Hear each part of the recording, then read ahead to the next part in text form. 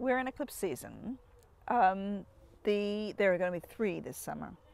There's going to be one in Cancer, July 13th or 12th for some of you, um, and one in Aquarius, and then another one in Leo. The first one, which is in Cancer, is a partial solar eclipse, but it's exactly opposite Pluto, the Darth Vader of the solar system.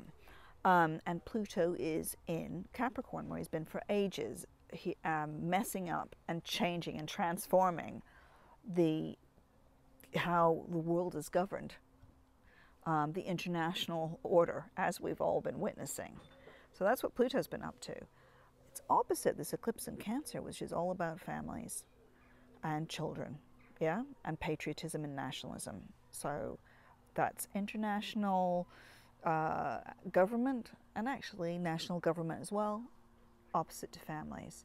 That is, um, it will obviously manifest differently for each of you in your own charts, but there is something in there about power and innocence, corruption and innocence, um, something, truth that gets straight to the point, because Pluto can be the truth as well. Okay, now there's the second eclipse, 27th of July, which is also incredibly conjunct a very harsh planet. Okay, it's conjoined by Mars almost exactly.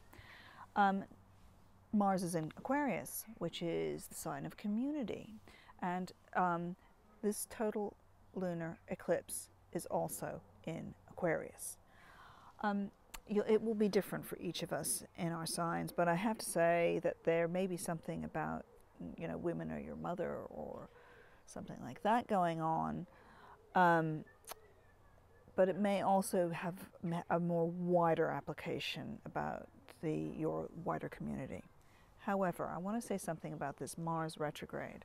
Mars is currently retrograde as I'm speaking, and uh, sometimes he gets a bad press, but actually, if you are able to let go of something during this Mars retrograde, and especially around the eclipse, it's a fantastic moment. It's a moment to let go of your anger, let go of aggression, let go of that warring side of your nature. Because Mars, when he's retrograde, is Mars as a lover, of a lover of Venus. Um, and what does that mean? If you don't let go, then things can go rather awry with Mars retrograde. If you keep on trying to forge ahead and push forward, you have to relax. Anyway, have a relaxing summer. See you later.